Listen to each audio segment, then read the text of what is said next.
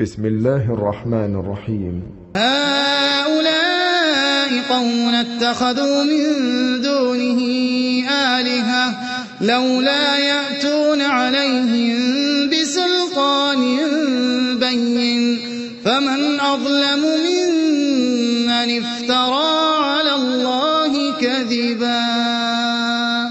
وإذ اعتزلتموهم وما يعبدون إلا الله فأووا إلى الكهف ينشر لكم ربكم من رحمته ويهيئ لكم من أمركم مرفقا وترى الشمس إذا طلعت تزاور عن كهفهم ذات اليمين. وإذا غربت تقرضهم ذات الشمال وهم في فجوة منه.